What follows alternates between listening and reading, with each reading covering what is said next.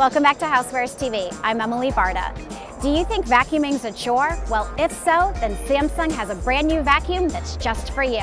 And Erika's gonna talk to us more about the Motion Sync Upright Vacuum. Erika, what is this? So this is Samsung's new vacuum. It's powerful, easy to use, and very easy to maneuver. So Motion Sync, what does that mean? That is all about the maneuverability of the vacuum itself. So basically getting around obstacles like furniture or transitioning over thresholds as well. So easy to use and transitions over thresholds.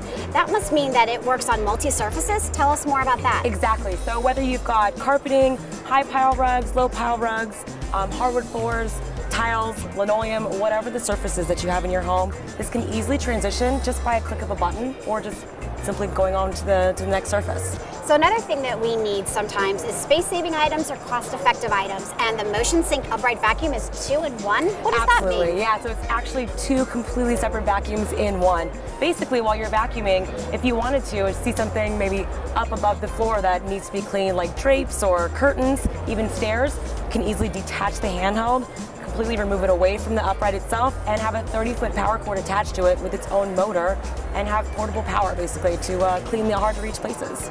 So if you would like to clean hard to reach spaces or all of your different floor surfaces, be sure to check out the Motion Sync Upright Vacuum, which retails for about $449. You can find more information at Samsung.com and you can buy one today at hardware, department, and electronics stores.